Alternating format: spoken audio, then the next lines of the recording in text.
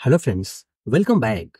आज मैं आपको मल्टी बैगर पिक करने का तरीका बताऊँगा कि किस तरीके से हम किसी भी मल्टी बैगर स्टॉक को पिक कर सकते हैं। स्टॉक मार्केट में अच्छा खासा पैसा बना सकते हैं। इसके लिए मैंने दो स्टॉक का एग्ज़ाम्पल लिया है। ये बाई और सेल का रिकमेंडेशन नहीं है। मेरा पर्पस आपको सिर्फ़ इतना सिखाना है कि अगर आप टेक्निकल समझते हैं, बिज़नेस को सही से समझते हैं, बिज़नेस को समझना और सही से समझना दोनों में अंतर है। टेक्निकल समझते हैं, बिज़नेस को सही से समझते हैं तो आप स्टॉक मार्केट में खूब सारा पैसा बना सकते हैं। पहला स्टॉक है सेंको गोल्ड। आप इस स्टॉक के चार्ट को देखेंगे, लेकिन उसके पहले मैं आपको एक चीज़ दिखा दूँ कि अगर आप मुझे लगातार फॉलो करते हो, मेरे वीडियोस को देखते हो तो मैंने इस स्टॉक को पाँच महीना पहले डिस्कस किया था, ये थी वो मेरी वीडियो, जहाँ पे मैंने इस स्टॉक को बताया था कि मैं इस स्टॉक को क्यों बाय कर रहा हूँ मेरा टारगेट क्या है? सारी चीज़ें मैंने इस वीडियो में एक्सप्लेन किया था। तो अगर आपने इस वीडियो को नहीं देखा है तो आप जाकर देख लेना, आपको काफ़ी कुछ सीखने को मिलेगा। जब मैंने इस स्टॉक को डिस्कस किया था, जो मेरी बाइंग थी, वो कितने की थी, मैं एक बार आपको दिखा दूँ। जो मेरी बाइंग थी इस स्टॉक को आप देख सकते हैं 878 के ऊपर ये जो स्टॉक था, मैंने बाय किया था। सारा चीज़ मैंने यहाँ पे एक्सप्लेन किया था। आज के डेट में अगर देखें तो 880 का स्टॉक इस समय पाँच महीना में कितने के ऊपर है? 1400 के आसपास पहुँच चुका है। ओके, ठीक है। अब यहाँ पे ये समझने की कोशिश करते हैं कि यहाँ पे कौन सा पैटर्न फॉर्म हो रहा है? बार बार पैटर्न पैटर्न मैं इसलिए बोलता हूँ कि मार्केट में आपको हेल्प करेगा आपका नॉलेज, आपकी स्किल।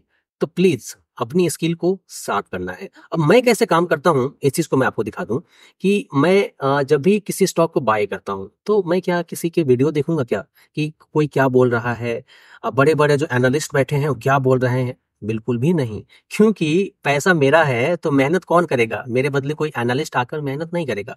तो सिंपल मेरे पास है काम करने का जो तरीका है, ये है ट्रेडिंग व्यू यहाँ पे मेरे पास होते हैं मल्टीपल वॉच लिस्ट जैसे मैंने किया ओपन लिस्ट तो यहाँ पे ये सारे लिस्ट आ गए हैं, जिसमें है निफ्टी के फाइव हंड्रेड ये Nifty one thousand Nifty hundred Nifty two hundred Nifty small cap two fifty Nifty small cap four hundred इन सारे स्टॉक को मैं एक एक करके, जितने भी वॉच लिस्ट है एक एक करके देखता हूँ।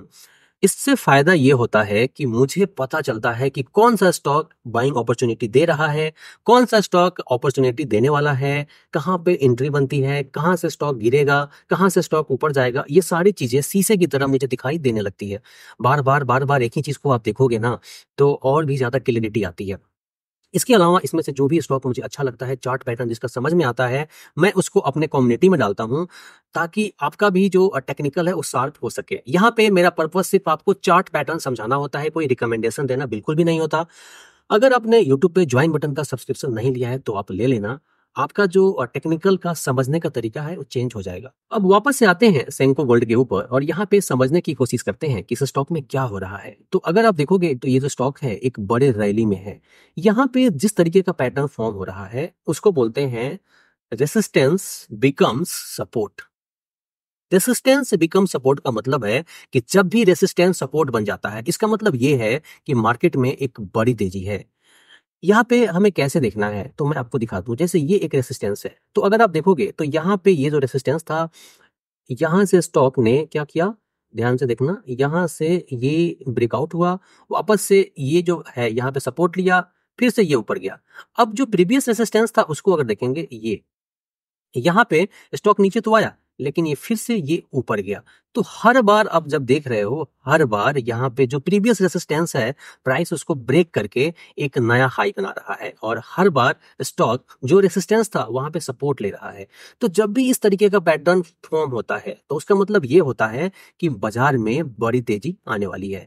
तो ऐसे सिचुएशन में जो चार्ट को समझते हैं या तो अपनी पोजिशन को होल्ड रखते हैं या फिर और एड करते हैं। अगला स्टॉक है स्नोमैन लॉजिस्टिक। स्नोमैन लॉजिस्टिक इसको भी एक बार देख लेते हैं। तो ये है स्नोमैन लॉजिस्टिक। यहाँ पे अगर आप देखोगे तो यहाँ पे अगेन एक पैटर्न बन रहा है। उसको क्या बोलते हैं? अगर आप देखोगे तो ये और ये पूरा यहाँ से इन्वर्टेड हेड एंड शोल्डर ये है इन्वर्टेड हेड एंड शोल्डर अगर आप मेरी वीडियोस को देखते हैं तो आपको पता होगा कि आ, मुझे बॉटम में बाय करना ज़्यादा पसंद है।